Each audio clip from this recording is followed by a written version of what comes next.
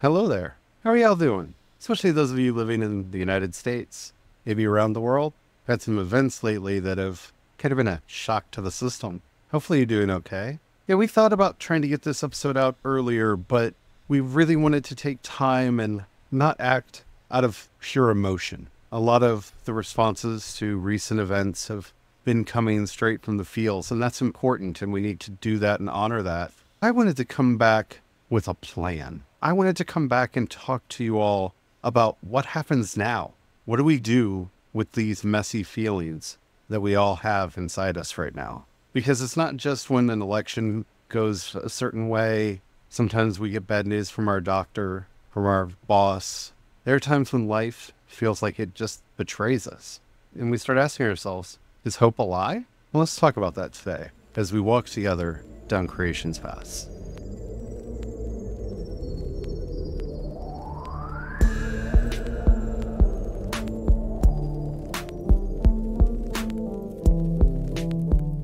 Hello, everybody. My name is Charlie. I'm a Christopagan druid and a priest of Bridget. Hello, everyone.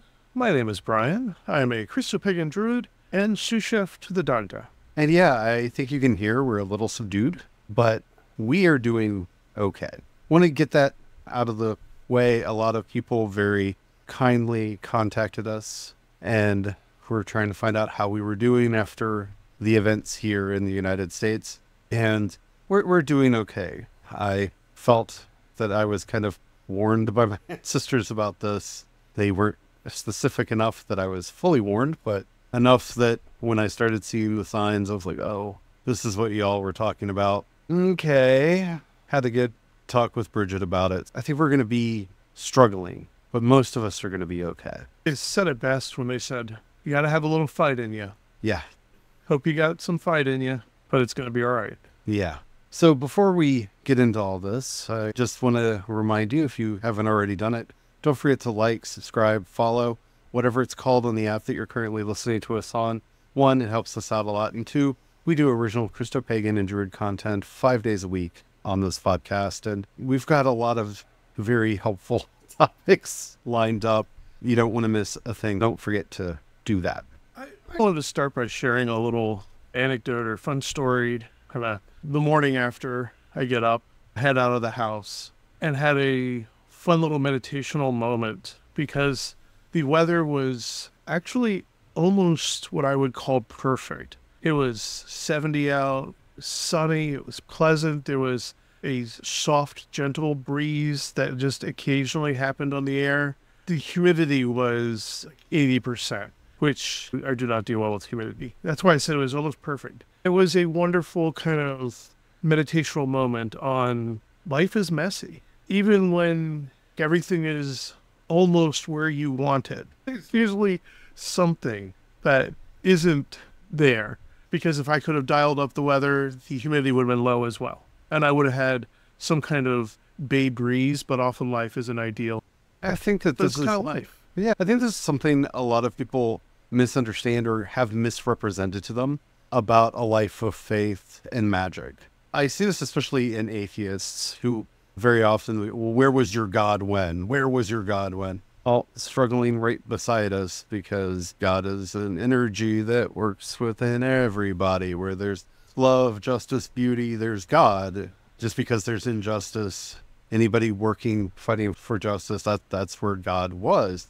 I think there's this misunderstanding that we will have the easy life.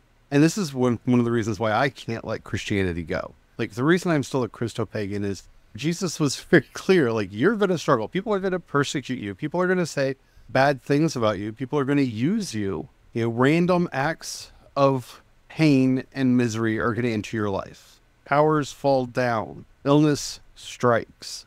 There, there will be storms that will come. But to remember, how did he say it in the Sermon on the Mount? Look at the lily of the field. It does not sow, nor does it reap. God takes care of it. And I tell you, even Solomon in all of his riches was not adorned as beautifully as them. That's the thing for me too that I really like and I take from that is that so often we forget that we as people were put here to be stewards of the earth. We're given that free will. We as a collective group will make life as hard or as easy as we all collectively choose to make it. And part of life is accepting choices that others make that are mostly out of your control. Like you can't force them to choose. You can help educate your fellow people. You can help let them know, like when they're complaining about life being difficult, that we as a collective just need to choose better. Yeah. I, I think back to in the Old Testament when God's warning the Israelites to not switch from a judge's system, do not go to kings. Yeah. But they still had that choice. They still got to switch to a system where they could have kings instead of judges. They suffered because of their choices. They suffered greatly. It wasn't God making them suffer. It was just collectively as people, choices that were made. And that's something I like to keep in mind, especially at times like this, that it can be better. Giving up or checking out, giving into any of the instincts, the fight or the flight, giving into violence, giving into checking out, any of that is not the right choice. No. It is never the right choice because we have to keep both thoughts in mind that it is what it is. It was uncomfortably humid and the weather was beautiful at the same time. I just had to accept that and know that hopefully I can make better choices and, and help others to, This is about helping others to make better choices. I think this is about community. yes, I think it's definitely about community. when, when I look at what's going on in our country and around the world, the idea of community has gotten fractured. It's gotten broken. We've picked sides. It's something we've talked about on this podcast a lot with the, some of the infighting that's starting to happen among pagan and witchy communities over who's a real pagan, who's a real witch. This is something that's been happening within Christianity forever. Who's a real Christian? That sort of infighting is not helpful in any way, shape, or form. It's gotten worse because social media has allowed silos to form. If you didn't like the most recent Star Wars movies, there's a community out there telling you how awful everyone who made them was, everyone who likes them is. They're all evil, they're terrible, they're doing this on purpose to ruin your life because anger and fear make money. When I was studying marketing, one of the first things we were taught is modern marketing came into existence when they realized telling you our soap is good didn't work, but telling them you don't want to be embarrassed because you smell bad worked. Making people afraid of their natural body odor, making people afraid that their teeth are not going to be pristine white when that was never the case for humanity prior to a lot of the bleaching agents that we put into the toothpaste, that your clothes aren't fashionable enough. We, we created these drives through marketing, and that has pervaded everything. That we're not marketing hope or community or even quality anymore. We're marketing fear. And fear is destructive. And that's kind of where we are today. People are afraid to talk to people who disagree with them. I understand that. I you never know who's going to be hostile, violent even. You never know what those reactions are going to be. But that's why I, I wanted to bring us to the topic of hope. Hope is the most misunderstood, misappropriated word in the English language. Hope is not a feeling.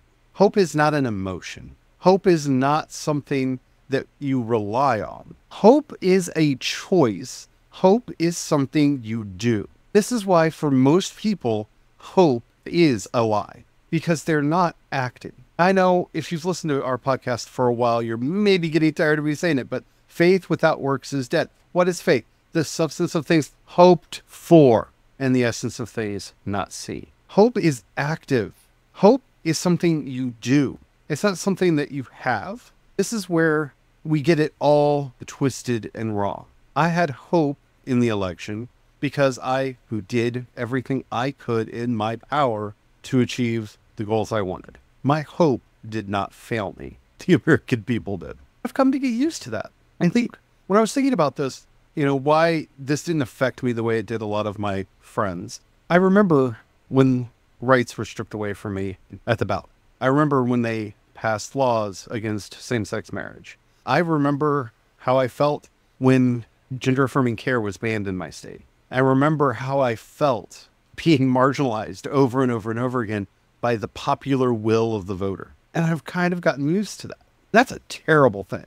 Like, I was madder that I wasn't as upset as a lot of my friends were because I had just come to accept well, I can work for betterment, but you know, people don't really care. And the thing is, that's true, and it's also a lie. People don't care about things that they don't know that they need to care about. People don't care about things that they don't understand. And this is where we get to what do we do going forward? Yes, the world betrayed us. You might feel like half of your country betrayed you if you're an American. If you're from outside the country, you may feel like our whole country has betrayed you. I watch RTE News because I like to get the, the view from outside the country. I'm always fascinated with what's going on in Ireland and the amount of concern. I don't think it rose fully to fear, but the amount of concern in their coverage of the situation on how this is going to affect the Irish economy and the Irish people if all of the things that were promised actually get done.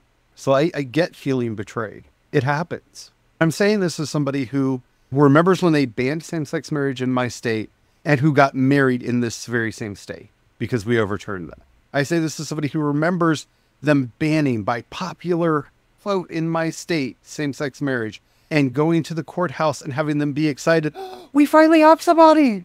They were so excited that they were handing out a marriage certificate to a same sex couple. I remember both of these things there is a future if you fight for it and if you work for it. And when I say fight for it, I don't mean physically. There are a lot of people out there who don't understand why Paul said we fight not against flesh and blood, but against powers and principalities in high places. Because if you act violently, they have a justified reason to suppress you. If you're out there causing disorder and doing violence, you're going to lose any support you could have. You can actually see this in the early Christian movement.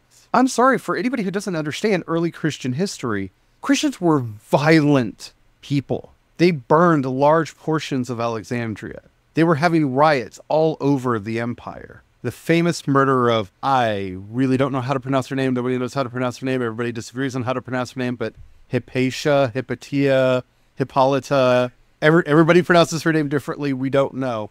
But in Alexandria, and I, I don't think I can say on a lot of the platforms that were on what they did to her.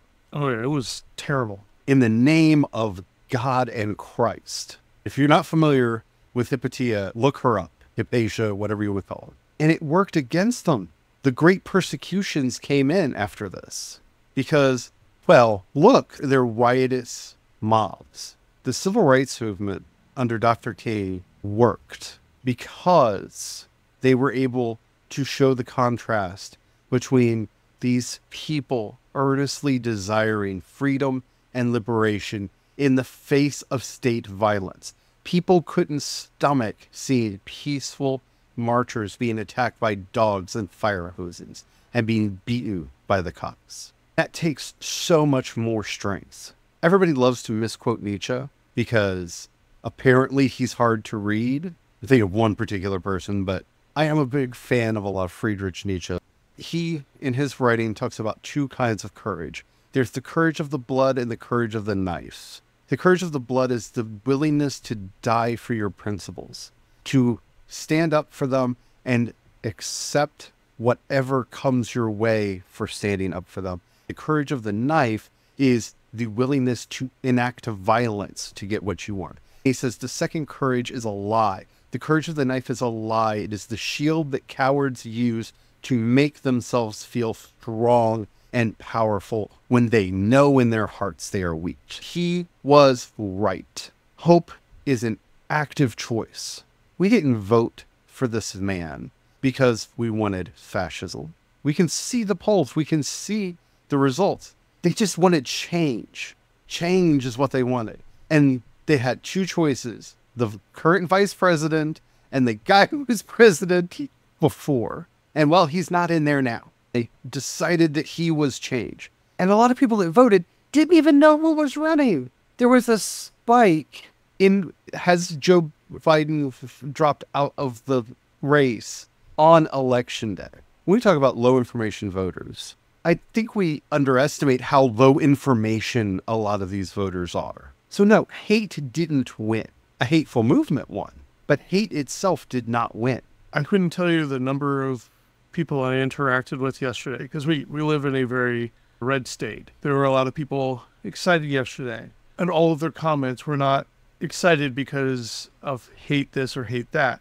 They were excited because change was going to happen. The economy was going to get better. Prices were going to come down. That's what they believed. That's what they voted for. And that's the thing to keep in mind. This is why when I talk about the things that we can do is when we have those personal conversations on an individual basis. First, it's remembering that you have mass groups and then you have the individual. The individual is not a mass group. Even if they're a part of a mass group, a lot of times they may be a part of it for other reasons. Groups are always stupid. Always remember, groups are always stupid. No matter how smart you are, you can get together with your 10 smartest friends, genius friends. I mean, cream of the crop, genius friends. You start working together as a group, your group decisions will be dumber than any of your individual decisions. It's a simple fact of group dynamics. Yes. And it's just something to keep in mind. And also keeping in mind that those personal choices, the things that affect them personally. I had close friends in the previous election that they didn't even vote, even though they were upset about what became from it because of the simple fact that, that at the time it was stuff that didn't affect them personally. They didn't care and they didn't see the connections. It was through personal conversations I was able to help them to see how what seemed like detached issues affected them personally on the stuff that they care about. So if we're going to choose hope, what are we going to hope for? We need to make this a we. You can have your own, add your own things to this, but we have some things we need to hope for collectively. And the first of those is better communities. That's it. It's easy to hate what you don't know. I've talked about this on other podcasts that I've been on, but gay rights succeeded to a large extent because of shows like Will and Grace. Because people who didn't know that they knew gay people had Will and Grace. Shows like Will and Grace helped people feel comfortable to come out. And all of a sudden they realized they did know people. That changes a lot. If you know an undocumented immigrant, you probably know their story and how messed up our immigration system is. You probably have more empathy towards their struggle and are probably wanting to help them. Now, don't do anything dangerous. Don't do anything to put yourself in harm's way. This is what we need to be doing. We need to be reaching out. We need to be building those better communities. And we need to be phrasing and framing our goals and ideals in ways that people want to sign in, join up, be a part of it. Do I think a UBI would be the best thing for our country? Yes, if we're going to be moving in, into late stage capitalism and even beyond, because I do foresee, I, I'm not one of those people that believes that technology will be our penultimate savior, but I do think that we will get to a place where we have to admit that the scarcity economy doesn't exist. Because already we make enough food to feed everybody on Earth. We just don't. We choose not to do it. We're already entering a post scarcity world.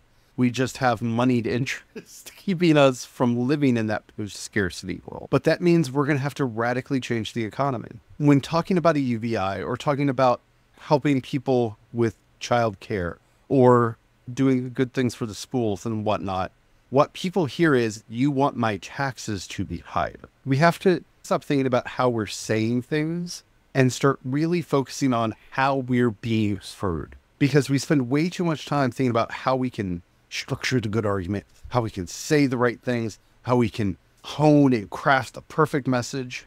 And then we're using words that are either going right over other people's heads or that they're hearing differently. Anytime I say the, the government should help people with the universal basic incomes or with health care, that we should have universal health care, or that we should have government subsidized ch- child care for people who can't afford it but still need to go out and work. All people hear is my taxes going up. How do we get past that? Because the other problem is if you say, well, we're just going to be taxing millionaires and billionaires, you have the other problem of, yeah, but one day I'm going to be a millionaire or billionaire. And oh, sweetie, that's probably not true. We have to think about how we're being heard because we're not going to win the argument with facts and figures. And I know that hurts down in our souls because I'm one of those people that wants to make the rational argument. I want to make the, we're going to argue our way out of this. We're going to be able to show, look what's going on with climate change. Look at all the storms. That actually affects people. Giving people numbers and facts and figures about climate change doesn't. Because they're able to write that off and go, well, you made that those numbers up. Yeah, but you remember that hurricane and that hurricane and that superstorm and that hurricane. The fact that we are having mid continental cyclones now, a hurricane that spawns over land, you can't ignore that because that blew your shed down. You can have those conversations with people in ways that actually hit them because we have to talk to people's emotions. And that's what we on the left, on the progressive side of things, have forgotten. We really want to believe in this rational populist, but we are not rational beings. We are emotional beings, but we have to talk to the emotions. And that's where a lot of it's done on an individual basis. To share a personal story in the local area over five, ten years of personal conversations with individuals.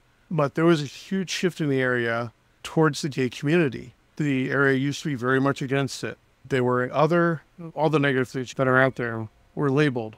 That shifted because on an individual basis, I made it a personal story to each individual. So it became about, well, you love who you love, right? Yeah, because everybody loves who they love. Love is something that is consistent across the board. Everybody has at least the feelings. Hopefully, they get to experience it mutually returned, but they at least have for themselves those feelings.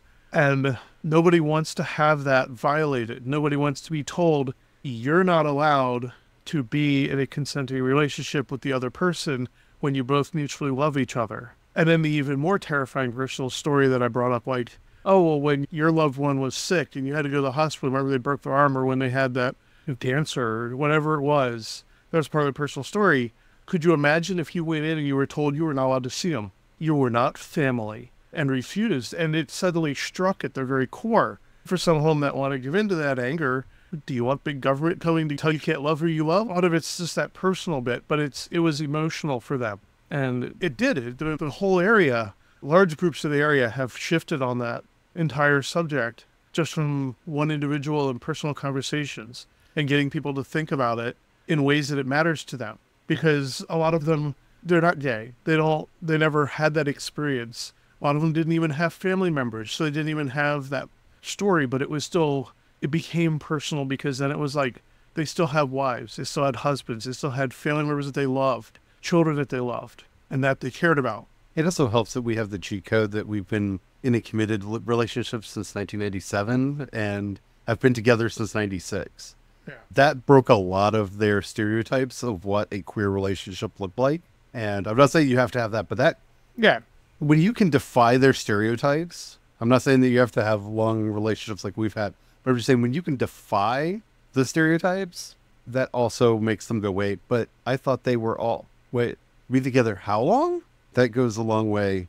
I think, yeah, when you're working on hope, when you're planning what to hope for, you really want to break the issues down to their core, to their base level. Honestly, a lot of what went on the systemic issue is sexism. Yeah. And misogyny. And it has been an ongoing issue for a long time. Yeah. And and racism. And just the willingness to live with cognitive dissonance. Our state voted with majority vote to enshrine a woman's right to choose. We may have legalized gender affirming care in our state because the way the private medical decisions amendment was written it technically includes us too. So we may have also enshrined trans rights into our constitution. But 52% of our state voted for that. And I think something like 60% voted for for Trump. And a majority of them, it was still Trump versus Biden in their head because they couldn't get past the misogyny to even see a female yeah. in a leadership role.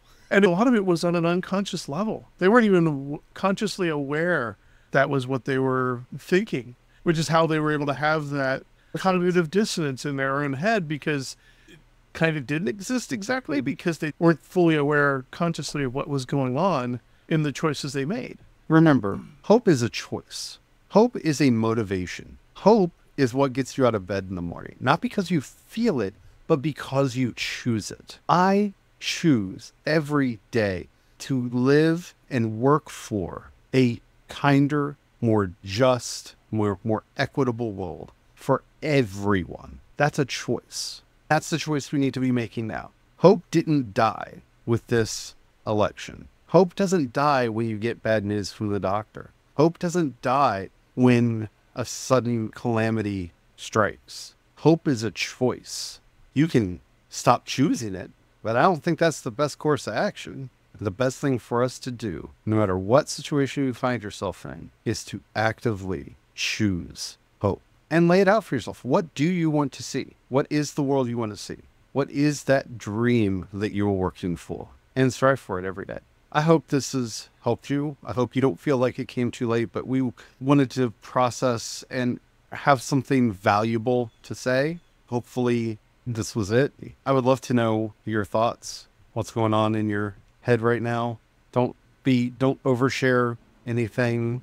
Don't feel pressured into that. But what might be really neat to see in the comments is what are you, what are you hoping for? Only positive answers. Because I'm not hoping for little things. I'm hoping for big things. Because the one thing I know about having a narcissist in charge is if we can convince him that he would be beloved for doing certain good things, we might be able to trick him.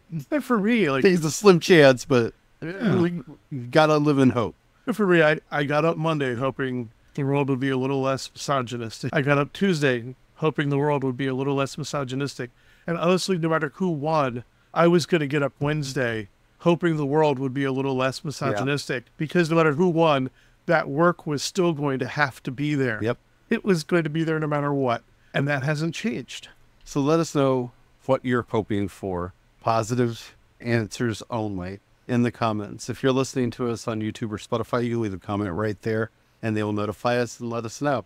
If you're listening to us anywhere else, even if they say you can leave a comment, they don't notify us. So head over to creationspaths.com, click on chat, and you leave a comment there and let us know what you think, what you what you're hopeful for, as they will notify us, so we will know while you're there. If you have a few dollars, you can pass our way. If you think about joining a membership, you can also support us on Patreon and Ko-fi. I am CE on both. That money really does help us keep food on the table, keep the lights on, keep a roof over our heads. So thank you to everybody who does that. And as we're going our separate ways today, I want to say just a little prayer to the Blessed Mother. Oh, most sweet and holy Mary, never has it been known that anyone who flew to your patronage was ever turned away. We ask you, who knew struggle and hardships, who had to flee from persecution, who was a refugee in Egypt, who struggled under an oppressive military occupation, and who watched them kill her firstborn son, and who, through all of it, kept and maintained the most blessed faith, that hope in a better world to come. Help us to have faith like you did through all of the struggles and trials of life, that in the end we may see that glorious kingdom that we long for come fruition. Amen. Amen.